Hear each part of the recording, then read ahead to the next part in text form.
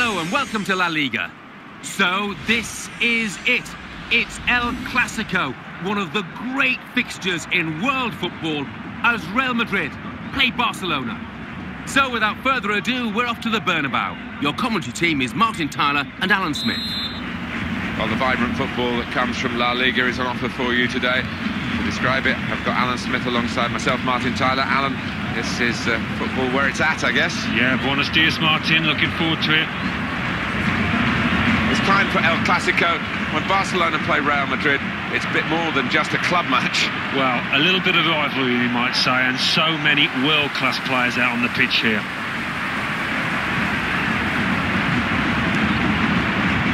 Carvajal. Play back.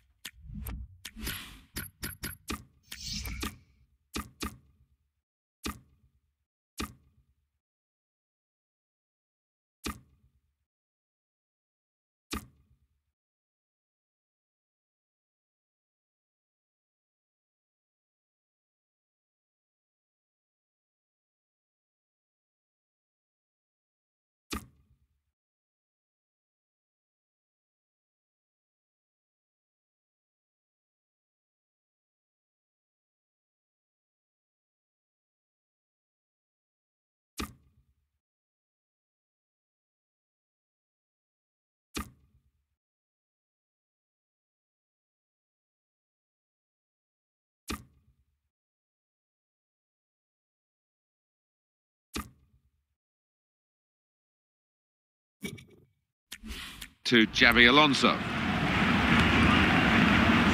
Possession in the midfield area. Well, this could be a very intriguing contest. Real Madrid might just... Uh...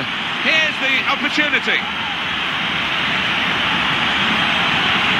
And the opponents come in strongly. And that's good play by the defender, because had he messed up there...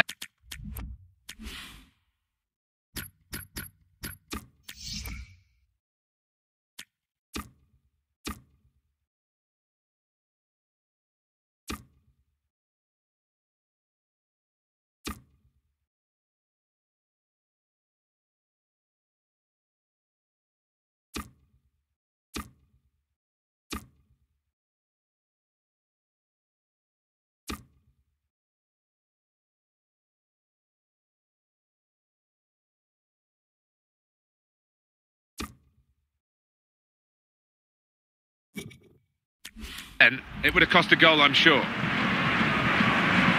The way Barcelona have developed their own style, their own players, and it sums up what's so good about Spain generally, isn't it? They're a key part of a national team's success. I think the referee's showing how he's going to officiate this match. It's going to be a free kick. He's not going to stand any nonsense.